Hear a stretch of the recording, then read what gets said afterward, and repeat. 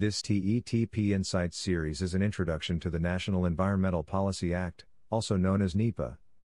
In late 2020, the Colorado Department of Transportation's former NEPA program manager, David Singer, delivered a presentation introducing the National Environmental Policy Act.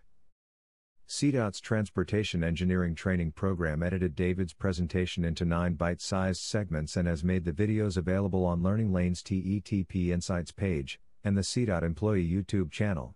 Videos in the Introduction to NEPA Insight series include Introduction to the National Environmental Policy Act, the NEPA process, developing a purpose and need, evaluating alternatives, environmental resources, natural, social, and economic, activities that may impact environmental resources, impacts, mitigation, coordination, and preferred alternatives, NEPA classes of action, documentation, and decision, and Environmental Resources at CDOT.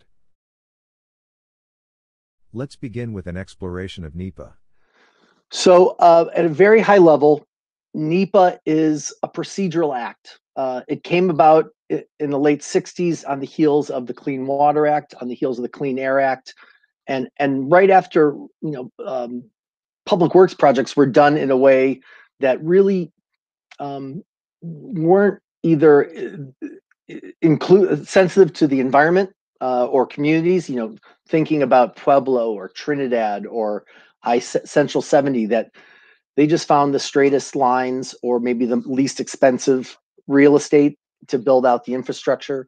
Um, and it wasn't just transportation; it was you know um, waterways and and um, a lot of different resources. And so there was a, a national cry to say, let's do this. Let's look at this holistically, understand what this the surrounding environment is, and then also give it um, the public a chance to weigh in on this and and and open participation. So NEPA is kind of this umbrella, and and it applies when there's a federal nexus, and that could be federal funds, it could be a federal permit, or the the entity itself could be something that's federally owned. And so, an example of that is the interstate system uh, CDOT set up where we're really reliant on federal funds. Many of you are working on state funded projects, but the lion's share of our projects come from are, are paid for by federal dollars.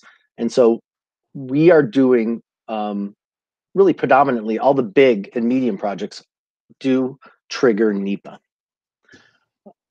Um, a, a, note on that is that even when we have state funded projects, we try to follow the similar type of processes because we know that's a best practice and we you know they deliver um, like i said well-rounded projects.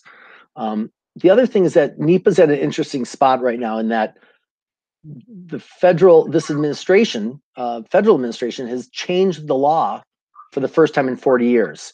And so just a couple months ago new rules have been put in place and there was a lot of attention on it. Fhwa has yet to issue some new guidance. So the the the the ground is still a little bit unsettled um, but they've tried to there's some things for better some things for worse but it's it's a little bit um, it's in a changing landscape. I'll just leave it at that.